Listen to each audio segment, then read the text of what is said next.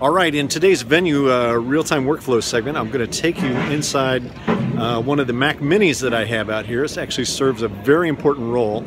Uh, as you guys remember in the um, in the equipment tour, uh, I made note that I had about six Mac Minis out here doing various jobs, uh, etc. But I have one that does a really, really important job, and that is it's a, a dedicated VNC computer. Okay, and uh, what it allows me to do is actually see inside multiple computers that are sitting out here, not just the Mac Minis, but also uh, the Mac Pros, uh, really any computer that is on the network out here. So First thing that's important to understand is that we have a, a LAN built out here, meaning a local area network, that all of the computers at the front of house are attached to. Okay, so that's the first important piece of the uh, information, and we have them set to static IPs. Okay, so we've, we've already pre-designated the uh, the addresses for them. So uh, let me get the um, camera turned around here. I'll kind of show you the computers again, and we'll talk about what's actually happening on screen here. Okay. All right, I'll pull up the uh, screen here on the VNC computer.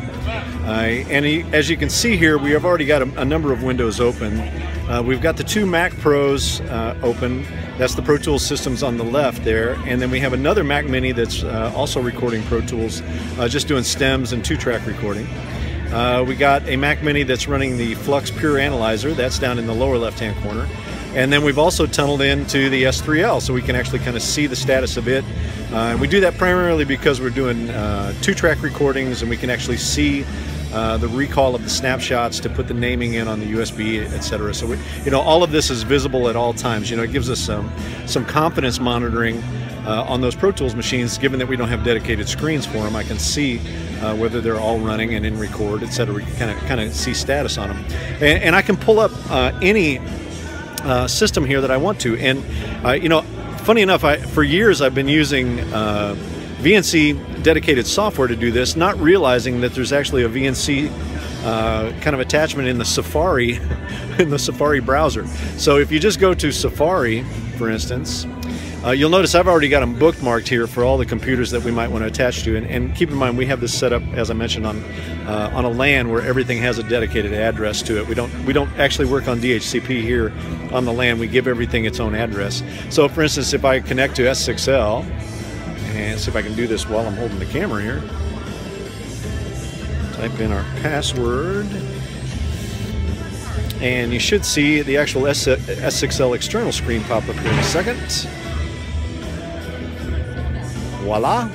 So now we're tunneled into that. You know, even if the, in the event we were to lose our external screen, etc., we can get in there and uh, see it on the VNC computer. So it's just like this. Uh, I use it as kind of this all-seeing, all-knowing uh, computer that allows us to see uh, into any of these systems, right? So I'm going to go ahead and close that back out.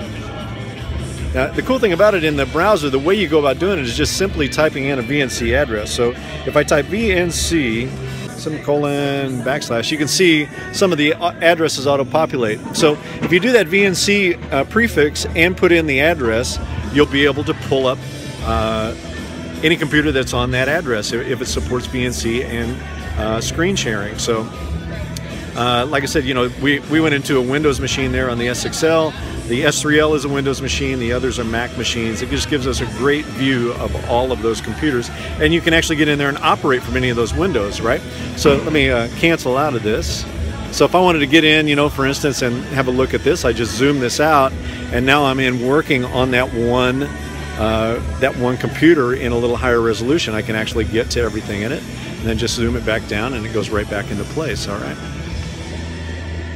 All right, so that's uh, the VNC computer out here. Like I said, it's a very, very powerful uh, weapon for us out here to be able to have lots of computers going on. You know, not that I necessarily endorse that, but we don't have them really in super mission crit critical uh, applications. Uh, but it does give us access to them very, very quickly without having to have, you know, tons of monitors out here. I mean, anymore. I mean, there's enough light coming off of the monitors at the front of house position to light the entire room. So we're trying to keep it to a minimum out here and just gain access to all those computers. Okay, so that's the VNC computer at the front of house position here uh, in our S6L rig. Uh, we'll be back indoors tomorrow. I'll try to dive back in on some more console stuff tomorrow and uh, get you going on that. Okay, we'll get back into some actual workflow stuff. But I did promise that we would go through some of these uh, pieces that are in the front of house racks and I will get through them all piece by piece to show you how we're doing them all. But this is kind of the main one. It's it's kind of the the, the Mac Daddy of all. Oh, no pun intended, right? Mac Daddy of all the ones out here. All right. We'll see you guys later. Uh, we have just finished line checks and uh, sound checks for both bands here. We are doors are open as you can probably hear the music going, and we are going to head for some dinner. We will see you later. Bye bye.